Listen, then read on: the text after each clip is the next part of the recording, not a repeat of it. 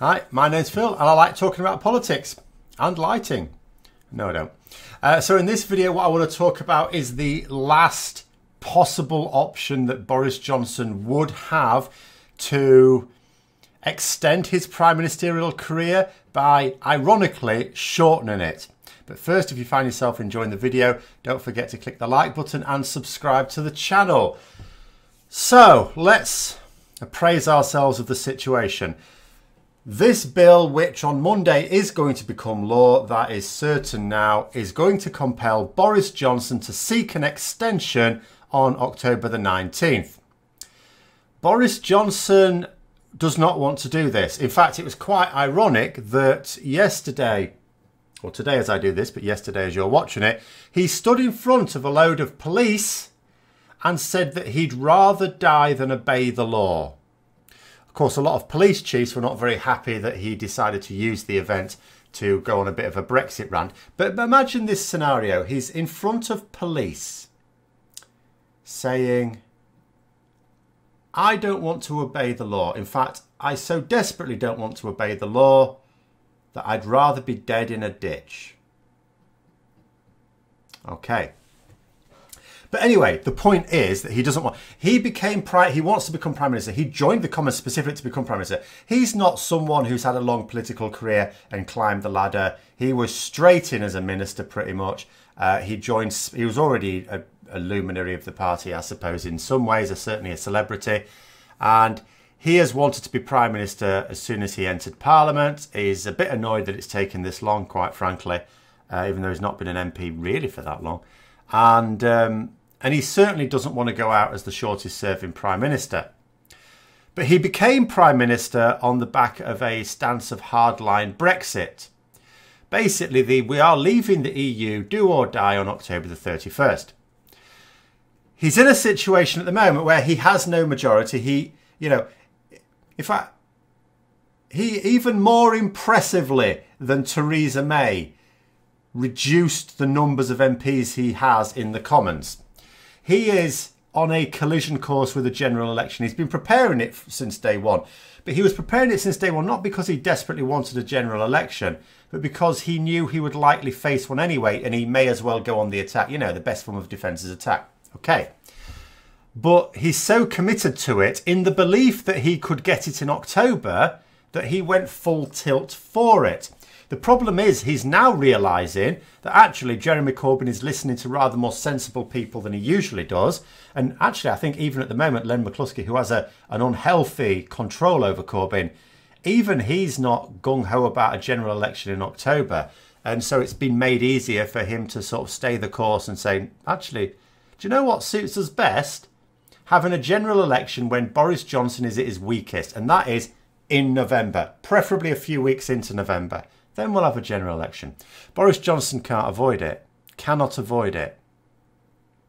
So he needs it in October. Why does he need it in October? Because in October he has two advantages. One, we haven't left the EU yet. So the people who are willing to believe that a no deal Brexit isn't all that bad, and like a lot of people think, well, things will eventually work out, they're not shown the chaos that will be obvious if we do leave without a deal in November. Uh, and, and we have the general election a few weeks later. The other advantage he has is he can still insist he's taken us out with no deal, which at the moment looks extremely unlikely.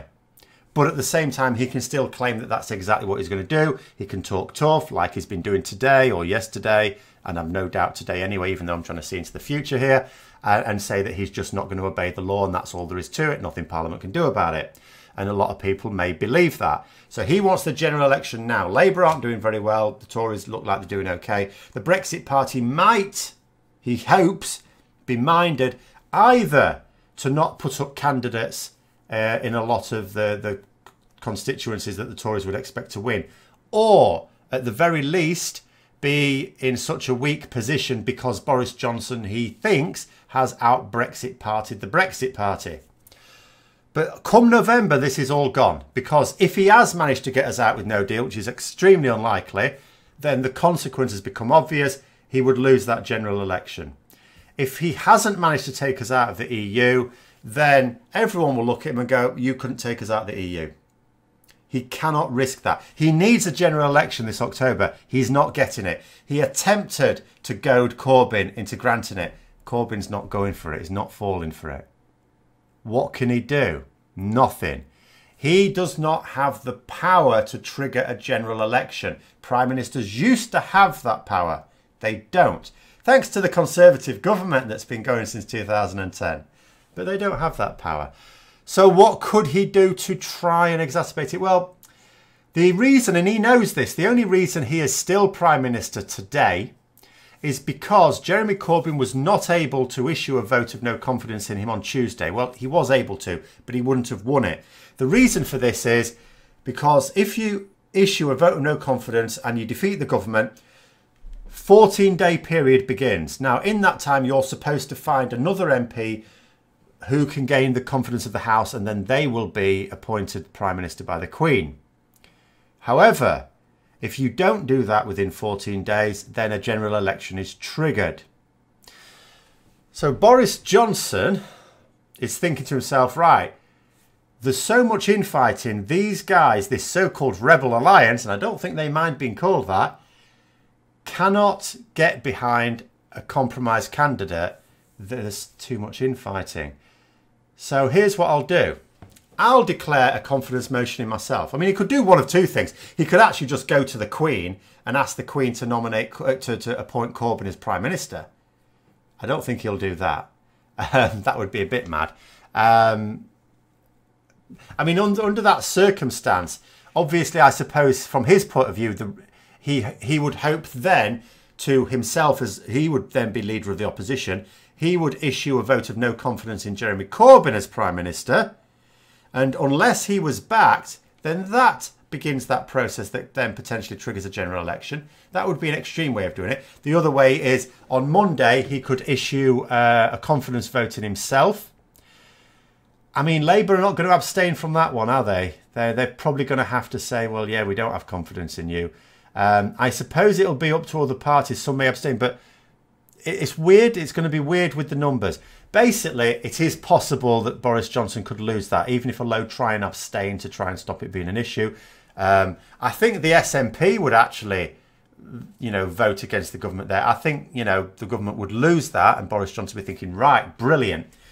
You lot haven't got anyone to replace me with, so I'll just count down. In two weeks' time, a general election will be triggered. Now, that general election won't be for mid October. He keeps saying he wants one in mid October. No one believes he wants one in mid October. What he wanted was to goad Corbyn into voting for his thing, where he's saying he wants it to be the 15th of October. Then he says, actually, I've changed my mind, 31st of October. Because the Prime Minister can set the date of the election. Now, they can't keep changing it, but they don't have to set that date until after a, a general election is triggered. And under the Fixed Terms Parliament Act, the general election isn't triggered until two thirds of MPs vote for it. So the vote would have had to have gone through, and then it's too late for MPs to do anything. But this other way means he just has to wait out two weeks. Corbyn will be insisting that he become prime minister. The uh, the the sorry, the SNP might be okay with that. I think they will. Um, the Liberal Democrats won't be okay with that. These other Conservative rebels won't be okay with that. So Corbyn won't get the numbers he needs. So two weeks of infighting, and then what? It's a risk that that's what he might be thinking. I only say might. This is just, I don't know that Johnson has threatened this. It's just his last real chance. The thing is, I would think at this point, as already alluded to, you've got conservative rebels. You've got 22 former who used to be conservatives at the start of this week. They have all risked much. Boris Johnson has risked and lost a lot to try and oppose this bill and he's failed. But let us not forget 22 other MPs risked and lost. Certainly 21 of them did. I don't know how you debate the guy who crossed the floor to the Lib Dems, but 21 of them definitely have risked and lost to get to see this bill through. The idea that they would allow Boris Johnson on the 19th of October to refuse to write that letter and just sit back helpless is ridiculous. They won't do that. How far are they willing to go to ensure this no deal doesn't happen? They don't want to get behind Jeremy Corbyn as this caretaker Prime Minister. But when it comes up to it, if Corbyn decides to play a massive game of chicken, might they anyway?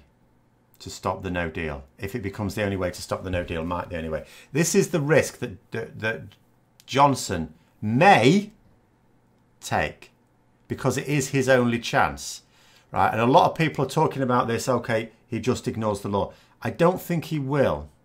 And the reason I don't think he will is because he set so much store against defeating this bill. He risked so much. He lost so much to do this and failed.